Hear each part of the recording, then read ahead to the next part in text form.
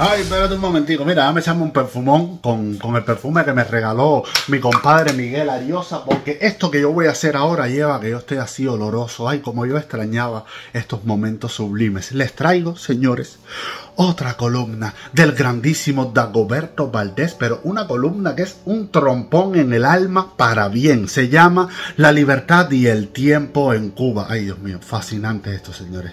Prepárense, voy allá. Dice. Escuchamos cada vez con más frecuencia. Es que pasa el tiempo y aquí no cambia nada. También escuchamos. Yo tengo una sola vida y para mí el tiempo se acaba. Y otros dicen, es que se me acaba el tiempo de esperar por un cambio. Yo me voy. Yo quisiera reflexionar sobre la libertad humana y la libertad de Cuba en relación con el tiempo. Pudiera parecer una reflexión filosófica alejada de la realidad que vivimos Creo que si profundizamos, esta puede ser una de las claves más prácticas y cotidianas de nuestra vida personal y nacional. Vamos allá. La libertad. La libertad es al mismo tiempo esencia y anhelo, don y tarea. Nadie en la plenitud de sus facultades quiere ser esclavo. Toda persona necesita aires de libertad sin libertinaje, sin un hábitat de libertad, la persona humana se asfixia, fenece, se daña por dentro, es reprimida por fuera. Dios nos creó libres porque nos creó a su imagen y semejanza. Dios es libre. Aún más, Dios es la libertad. Todo hombre y mujer está llamado a vivir la gloriosa libertad de los hijos de Dios. José Martí dijo sobre la libertad, como el hueso al cuerpo humano, y el eje a una rueda, y el ala a un pájaro, y el aire al ala, así es la libertad, la esencia de la vida. Cuanto sin ella se hace es imperfecto.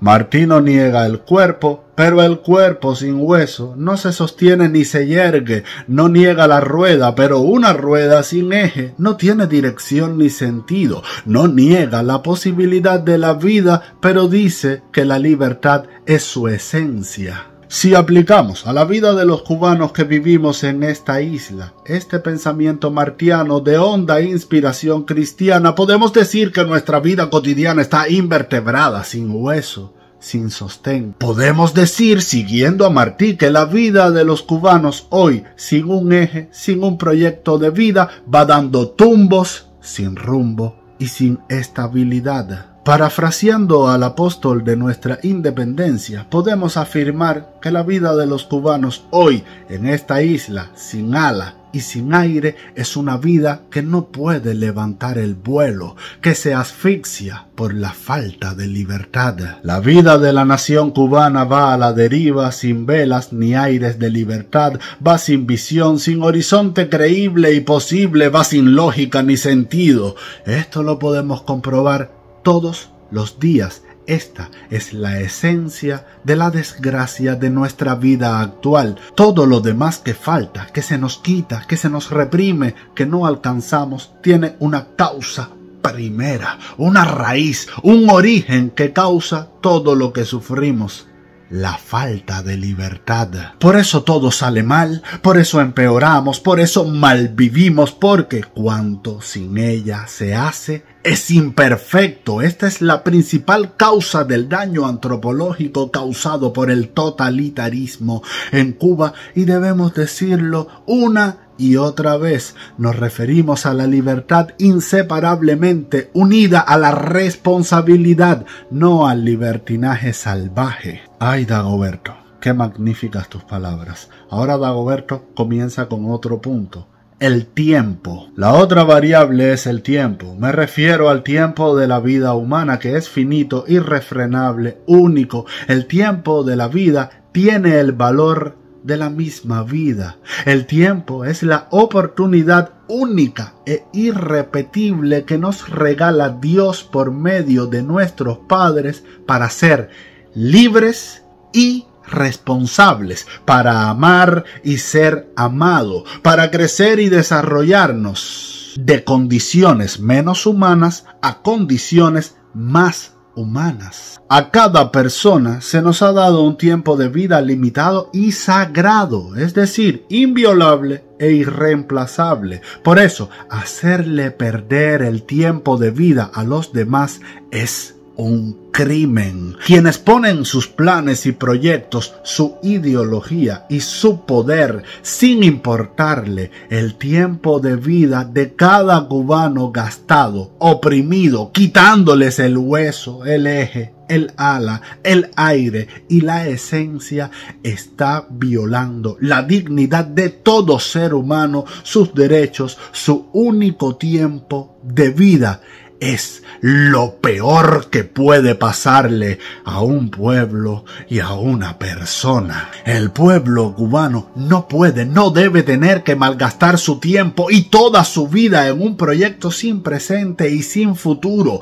Todos los servidores públicos en todos los países libres se les permite un tiempo limitado, cuatro, cinco o seis años. En algunos lugares reelegibles. Eso no es solo por la alternancia en el poder que es intrínseca a las democracias, es sobre todo porque el tiempo de los ciudadanos debe ser respetado. Nadie debería disponer de toda la vida propia y ajena para hacer experimentos con humanos. Los experimentos económicos, políticos y sociales tienen que respetar la vida de los ciudadanos. Por eso su tiempo es y debe ser muy limitado. El fracaso no puede ser ilimitado en el tiempo. No se puede ir de fracaso en fracaso sin importar la vida de cada cubano. Qué fuerte está esto. Qué, qué... Ah. Sigue Dagoberto con otro punto. Dice, la libertad llegará inexorablemente. Nada de lo constatado antes en esta columna debe llevarnos al desánimo ni a la huida. Emigrar es un derecho humano, lo respetamos. No obstante, creo que es necesario también decir que si la libertad es parte de la esencia del ser humano, nada ni nadie podrá destruir completamente esa esencia. Ningún experimento, ninguna ideología, ningún sistema económico o político podrá subsistir para siempre por lo tanto, se trata de tener la convicción profunda y perseverante de que la libertad llegará a la sociedad cubana inexorablemente y la primerísima razón de que llegará sin dudas es que no tiene que venir de fuera, está dentro de nosotros mismos como esencia, eje, ala y aire de nuestra naturaleza humana. Por eso se trata de crear conciencia recta, verdadera y cierta de que toda persona lleva dentro de sí la libertad, aunque las libertades cívicas y políticas, económicas, sociales, culturales y religiosas sean reprimidas, incluso suprimidas, siempre, tarde o temprano, aquí y en cualquier lugar del mundo, la libertad interior de cada ciudadano triunfará. La historia de la humanidad nos indica con sus luces y sus sombras, con sus vueltas y revueltas, con sus giros y regresiones, que al final la libertad saldrá del hondón de la naturaleza humana y desatará todas y cada una de las cadenas que la atan. Es necesario, sin embargo, decir que si la libertad está intrínsecamente unida a la responsabilidad, entonces acelerar la llegada de la libertad depende del ejercicio de la responsabilidad ciudadana de cada cubano. Al releer las breves frases del comienzo de esta columna, podemos constatar que en todas hay una postura común, esperar a que los demás conquisten la libertad, esperar que la libertad venga sola. Eso es lo contrario de la responsabilidad. No se trata de organizar nada, ni siquiera de hacer cosas extraordinarias. Se trata de ejercer siempre y en todas partes la gloriosa libertad de cada persona que es hueso, eje, viento y ala de nuestra naturaleza humana. Estoy convencido que eso aceleraría la llegada de la libertad porque saca a la luz de cada día en cada cubano lo que el mismo Martí llamó el culto de los cubanos a la dignidad plena del hombre. El tiempo depende de nosotros, pero la última palabra será de la libertad y la responsabilidad. Hasta el próximo lunes si Dios quiere. Nada, muchísimas gracias Dagoberto. Qué, qué labor tan homérica, tan enorme, tan gigante, tan vasta, tan oceánica para iluminar la mente de los cubanos. Muchísimas gracias. Te mando un abrazo y a ustedes también, amigos míos. Hasta la próxima.